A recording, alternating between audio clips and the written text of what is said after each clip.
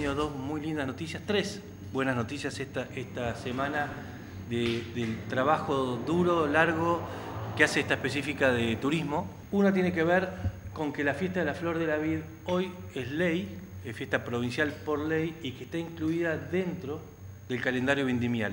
La segunda buena noticia fue que fue declarada patrimonio departamental la carne a la masa. Ya sabemos que tenemos una cepa, que tenemos el espumante, que tenemos la fiesta de la flor, ya sabemos que tenemos una comida. Todo eso es, lo vamos creando, le vamos dando una identidad a San Rafael, que es muy importante cuando ustedes viajan, saben que tienen que ir a lugares que tengan contenido. Y en eso es lo que estamos trabajando desde la específica de turismo. Después pues, sepan que también vamos a trabajar en eh, la conectividad, que esa fue la tercera buena noticia.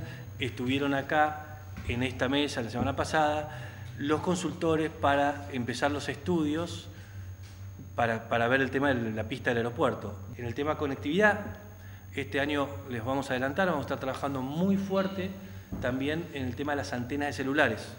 No podemos pensar en que nuestras bodegas puedan tener una plataforma de venta o nuestras cabañas tengan una plataforma de venta online si no tenemos señal a 6 kilómetros del centro. También estamos trabajando, eh, lo hemos manifestado al municipio, se hemos manifestado a la, provincia el deseo de hacernos con los datos de Big Data. Queremos saber, por medio de las telefónicas, qué, por su la señal de celular nos puede decir de dónde vienen a visitarnos en San Rafael, por dónde camina la gente, en qué lugares para.